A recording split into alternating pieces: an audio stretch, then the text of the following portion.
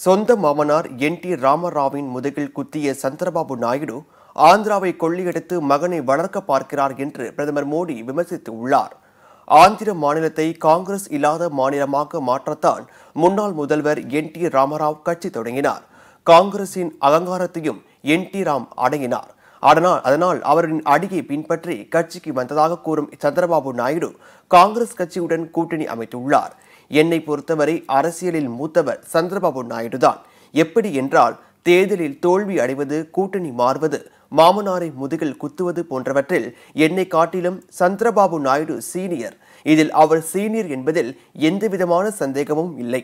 Chandrababu Naidu senior என்பதால் ஒருபோதும் நான் மரியாதை குறைவாக நடந்தது இல்லை இவ்வாறு பிரதமர் மோடி பேசினார்.